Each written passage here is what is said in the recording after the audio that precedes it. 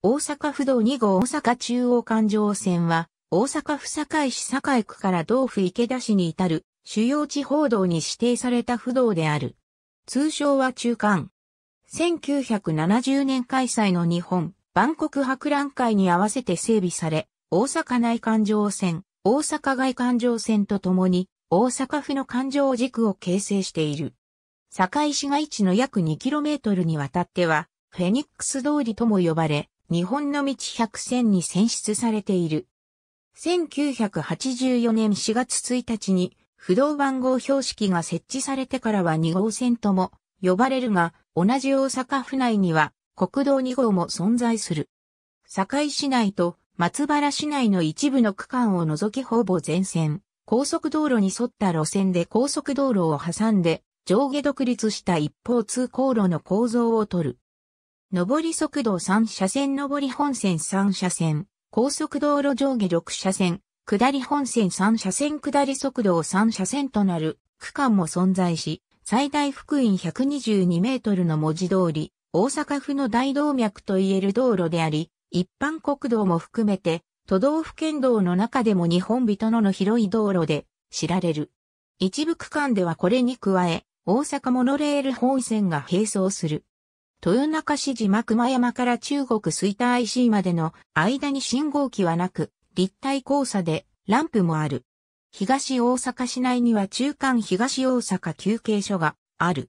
新海峡交差点奥から右が国道171号、左から奥の高架道路が中央環状線。交差点南をかすめ通っている。奥の信号機付近が大阪府と兵庫県の府県境。摂津市森口市間の淀川を渡る橋である、鳥海大橋は日本で初めての有料橋で1954年に完成。元は日本道路公団が管理していた。完成してから半世紀が過ぎ、それゆえ、老朽化や車線数が2車線と少ないために、渋滞の発生が顕著であるといった問題が発生していた。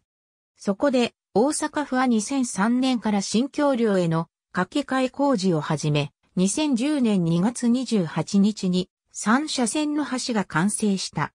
終点は大阪府池田市の新海峡交差点であるが、実際は交差点で国道171号とは接続しておらず、交差点の南側をかすめるように通っている。兵庫県方面へは一つ西の信号で合流している。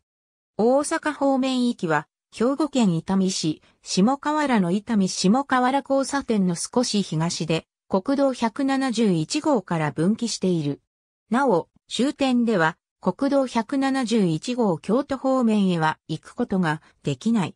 大阪中央環状線並行して、現道整備前の不動大阪不動14号、堺府瀬戸中線。1965年に大阪府道23号大阪中央環状線へ、解消、大阪府道2号大阪中央環状線があり、一部で現道と交差している。なお、大阪府道が現行番号体制へ変更されたのは1984年3月からである。